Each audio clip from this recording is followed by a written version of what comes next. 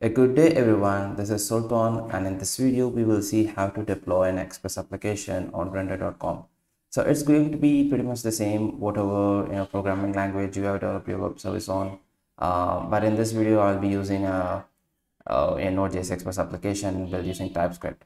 Okay, so I'm right now in my render dashboard. So the reason for choosing render is you know I've been using Heroku for a while uh, it's been for a long time actually.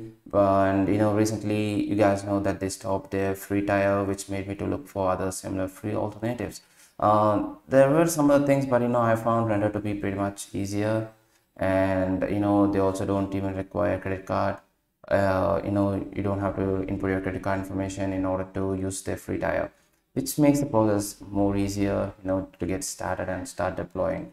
Okay so it's pretty much easier. We just need to create a new uh, web service uh, for backend application. And you know you can use both github and gitlab. Uh, i have used gitlab also for one of my private repositories. And you know they also support private repositories which is pretty cool.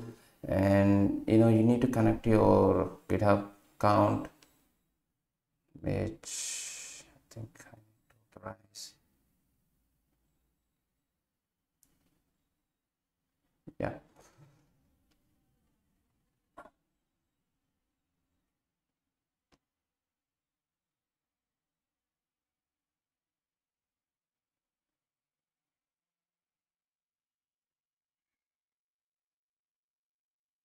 yeah. So for this demo i'll be using the simple application express mongodb boilerplate uh which is this one.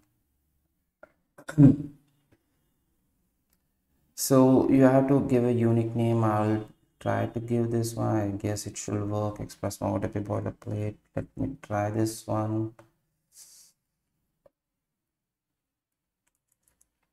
Yeah. So it seems to work and the runtime environment is node.js uh, you just need to choose a region. And yeah the the branch is going to be so if you have master branch as your main branch you can use that. Or you know you can choose whatever branch one i think i mean if you have a certain prod branch say for example you have you're going to deploy only uh, when you're going to push uh, inside you have a branch called prod and you know you just want render.com to uh, deploy it only when you push it to that branch you will choose it over here. So since i have only one branch it just shows me the main branch. And the build command is the one which we need to note. So here they have yarn and yarn build. Um, but here we will be using npm install. Sorry for that. And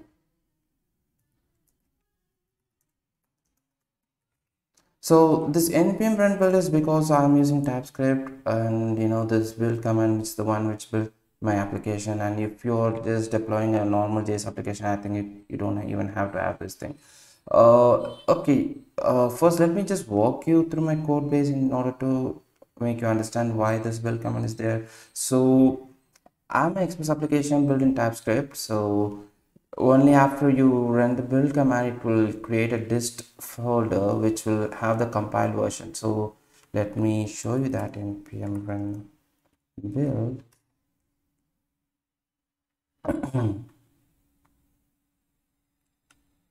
Yeah so this dist file is the one which contains the uh, built uh, part of our application. So here we will have no, I'm not able to navigate correctly yeah so this is the server.js file which is which has the application. And you know in our package.json file we have the build command which builds the application. And you know we have the start command which goes inside the dist folder and you know uh, starts our application using dist slash server.js which is this file. Okay? So based on our package so whatever uh, commands you have in your package json guys you have to use that. So after npm run builds uh, it will uh, build build the, the application the actual application and you know you have to start using npm start.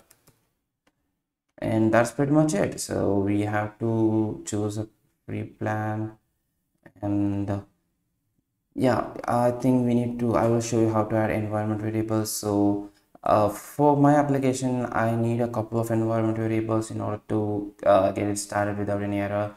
So this is the mongodb connection string uh, which is a temporary uh, username password which i just generated so what i will do is i will have them copied over here. And this one you, can also edit it. Uh, even after the application gets deployed you can you know edit this environment variables but i'm doing it right now because you know this is something which my application this code base actually requires in order to start it without any error.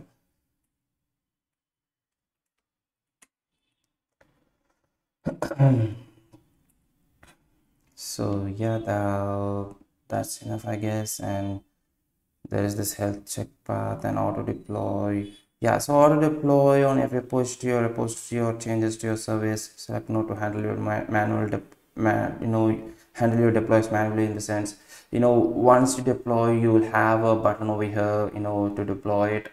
Uh, so basically what this option means is whenever you push a updated version to your repository in your github uh, you know the hooks gets, gets called and you know the render will trigger a deploy uh, for the updated code base. So if you don't want to do that and if you want to do it manually you can choose no here. And you know once you have a, a pretty stable version in your github you can come uh, you can log into render and you know you can manually deploy. So right now i'm just going to choose yes and you know uh, get my web service started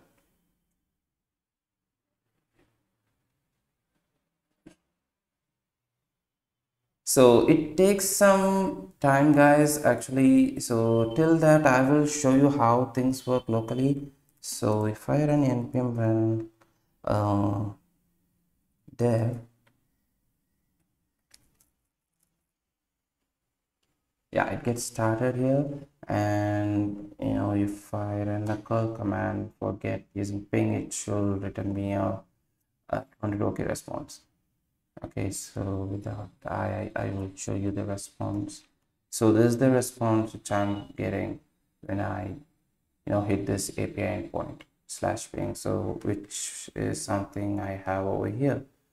Inside routes ping. I'm just uh, you know sending a pong message just to check the server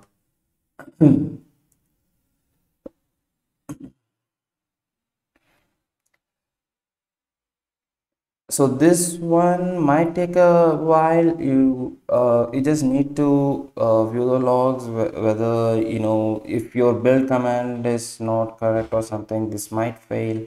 You know because even me at the first time I forgot to uh, give the npm uh, install command so this one actually failed the build process. So so this is something which you need to note uh, if something gets failed you can just you know uh, reconfigure everything. Uh, I mean if you come to the settings panel you will see the same dashboard again and you can reconfigure all the settings and you know, so yes guys uh, uh you know our application so got a there's no problem at all. If and it's running about 10,000 so uh, after that you know we can check that using there will be a URL provided over here so if you hit that you will be able to navigate to your application. So actually it takes a while uh, for the cold start to work. So give it some time.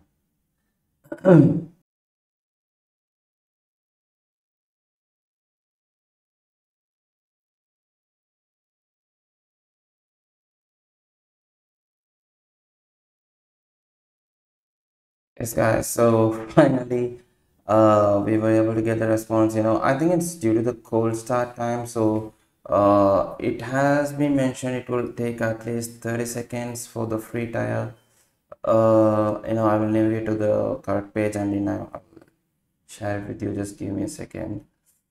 Uh, where is the free trial information? Yeah so it has been mentioned here this can cause a response delay of 30 seconds for the first request that comes in after a period of inactivity so which is 15 minutes of inactivity. So since you know our server get, just get just got started uh, it might take a while for you to see the uh, for you to receive the response. So right now you can see here i'm able to get my response back. And also you know the cool part is you have the live logs which is running over here. So whenever you uh, log into the dashboard and you know if you want to debug or something the logs are just over here. Um yeah i think that pretty much that's pretty much it on how to deploy your express application on render. Thank you guys for watching. You know if you like the video just hit the subscribe button and like button. Thank you again. Bye